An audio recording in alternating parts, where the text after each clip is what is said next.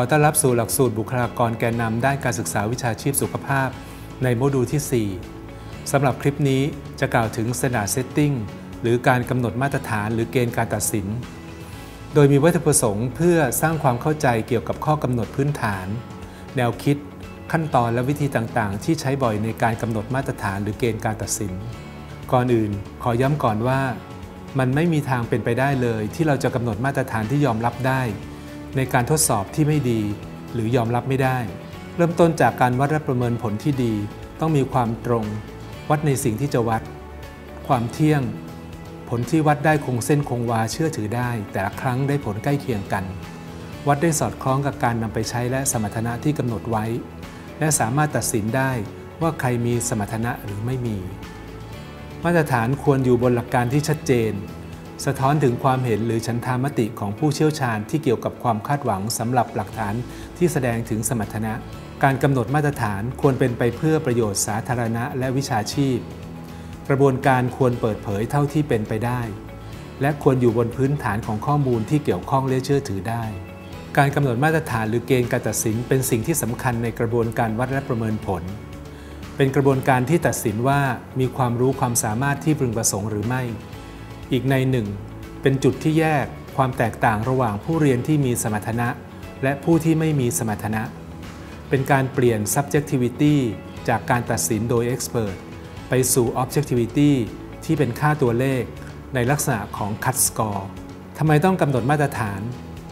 นอกจากเพื่อแยกผู้ที่มีสมรรถนะออกจากผู้ที่ไม่มีสมรรถนะแล้ว มาตรฐานที่กำหนดขึ้นจะเป็นผลจากนโยบายการศึกษา คุณค่าทางวิชาชีพ ความรับผิดชอบและการคุ้มครองสาธารณะสำหรับกิจกรรมและผลลัพธ์ด้านการศึกษาที่หลากหลาย ตลอดจนการยอมรับของสังคม วิธีการกำหนดมาตรฐานควรมีลักษณะต่อไปนี้คือ สอดคล้องกับวัตถุประสงค์ของการวัดผล อธิบายได้ น่าเชื่อถือ มีหลักฐานใน literature สนับสนุน สามารถทำได้ และเป็นที่ยอมรับของผู้มีส่วนได้ส่วนเสีย โดยทั่วไปมาตรฐานมี 2 แบบคือ มาตรฐานสัมพัทธ์ หรือที่เรียกว่ามาตรฐานอิงกลุ่ม คือการนำผลลัพธ์การเรียนรู้ของผู้เรียนคนหนึ่ง ไปเทียบกับผู้เรียนคนอื่น อีกแบบคือมาตรฐานสมบูรณ์ หรือที่เรียกว่ามาตรฐานอิงเกณฑ์ คือนำผลการเรียนรู้ของผู้เรียน ไปเทียบกับเกณฑ์ที่กำหนดไว้ ในทางการศึกษาจะใช้การอิงเกณฑ์เป็นหลัก การกำหนดมาตรฐานด้วยการอิงเกณฑ์ จะเป็นการแสดงว่าผู้เรียนมีความรู้ความสามารถอยู่ในระดับใด เมื่อเทียบกับเกณฑ์ที่กำหนดไว้ ผู้เรียนจะผ่านหรือไม่ผ่าน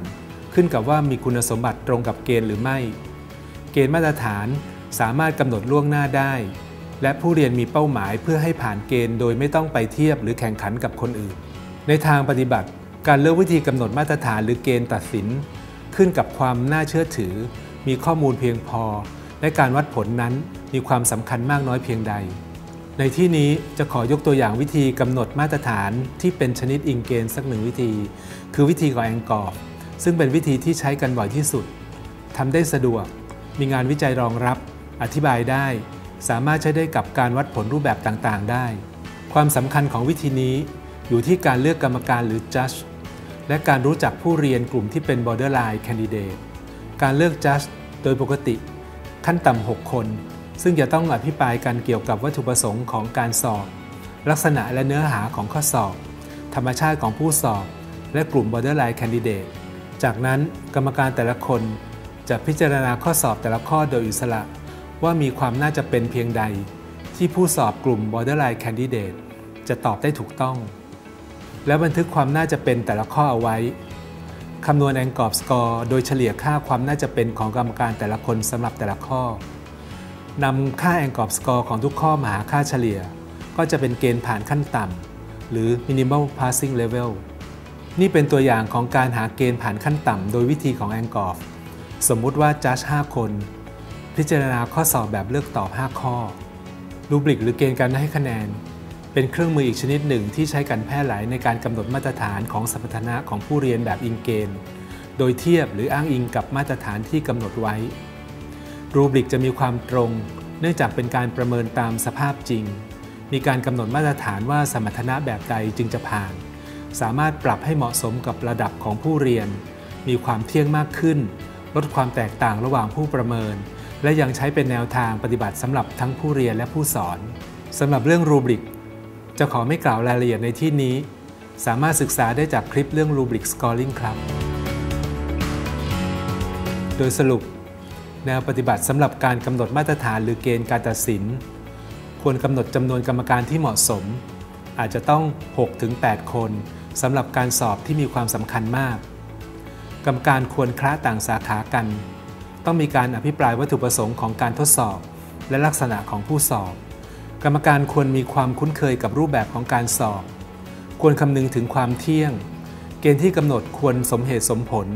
และเป็นที่ยอมรับของผู้มีส่วนได้ส่วนเสีย นอกจากนี้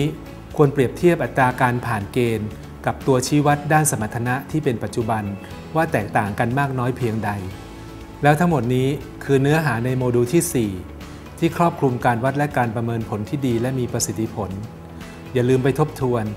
หากมีตรงไหนไม่เข้าใจสามารถกลับไปดูซ้ำได้ และนำไปปฏิบัตินะครับ สวัสดีครับ